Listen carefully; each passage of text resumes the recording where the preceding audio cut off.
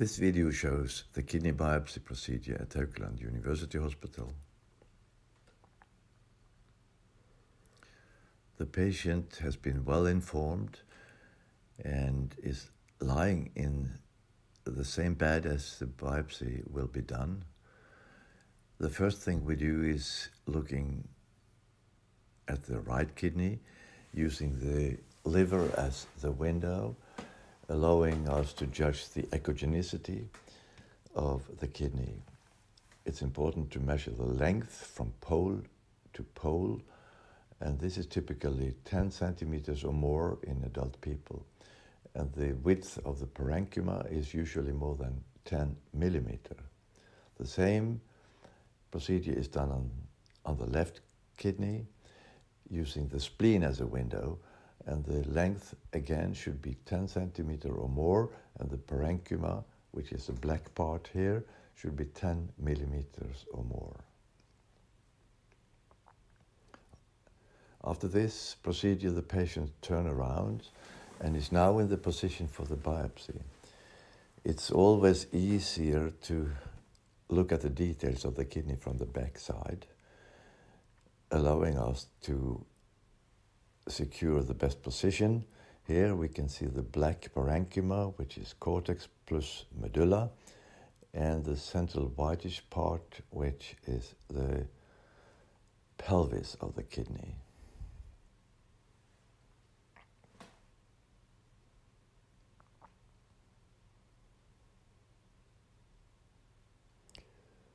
Here is what we need for the biopsy. Everything is well prepared with sterile towers to the left, two syringes with anesthetics. It's important to divide the anesthetic procedure in two syringes, 10 milliliter each, and lidocaine is usually used.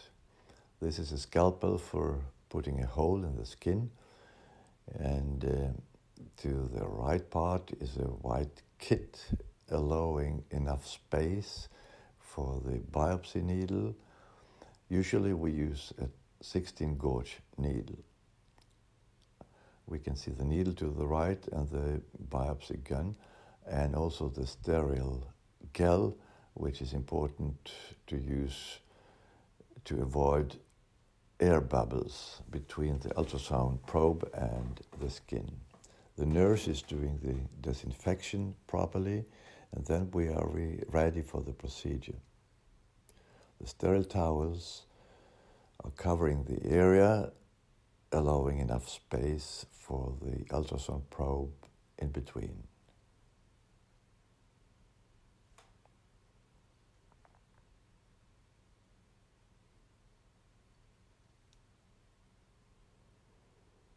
Sterile gel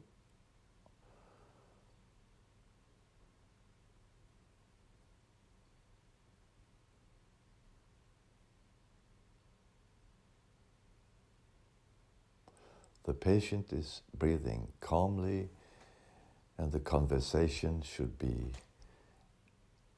in a relaxed tone. She is well prepared that she will feel a little bit pain when the anesthetic is put for the first time.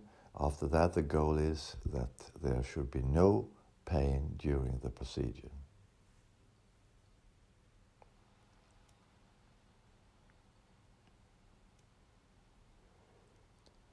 The whole procedure is done under continuous visualization of the ultrasound screen.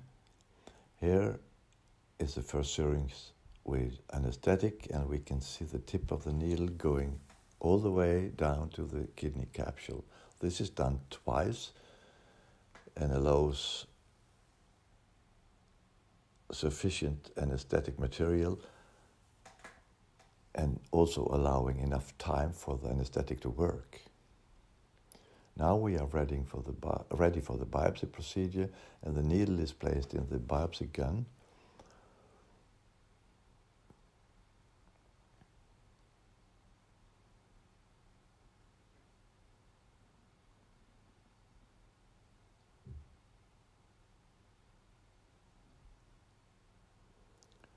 A hole in the skin for the needle tip.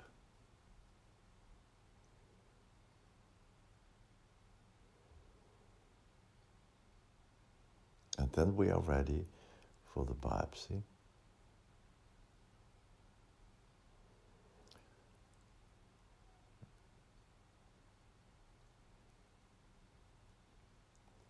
Again, with full control of the ultrasound screen, and the sector is showing us where the needle will come. Patient is breathing calmly.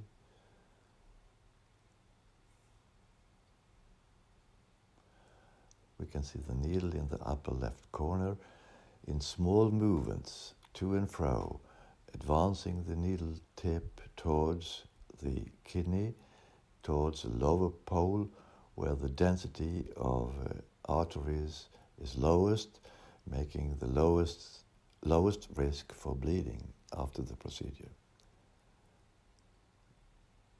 In the experium, we are doing the biopsy.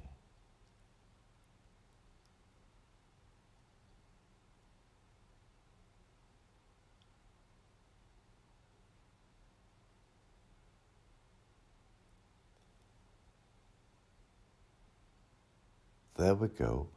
In slow motion, you can see the track of the needle in a perfect position. Afterwards, we are doing a control ultrasound recording. We may use Doppler as well, which could easily show us if there was immediate bleeding. Taking out the biopsy needle and opening it, allowing for the biopsy specimen, which typically is around 20 millimeters, typically also a little bit elastic and reddish in color, placing it under the stereo microscope, which will allow more details in the judgment of the material to find out if this is representative preferably with material from cortex and medulla. And this stereo microscope picture can be transformed to the computer and later on to the patient record.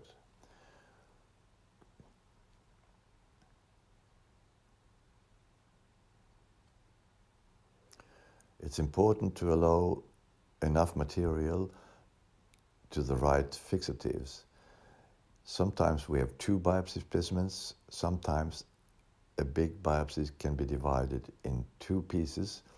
One for formaldehyde, which is the fixative for the routine exam, and the other for the fixative to the left, which is McDowell's fixative, which is glutaraldehyde, which is the best fixative for later processing into electron microscopy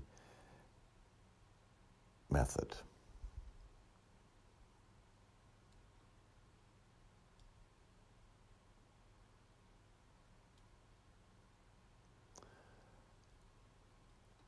Here we can see it on the computer where we see the whole cylinder.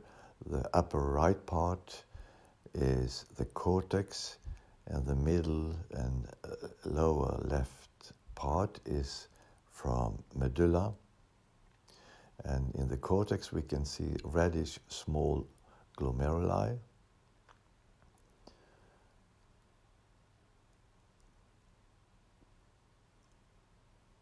Here, and the parts are divided by two arteries actually. Here is one and here's another.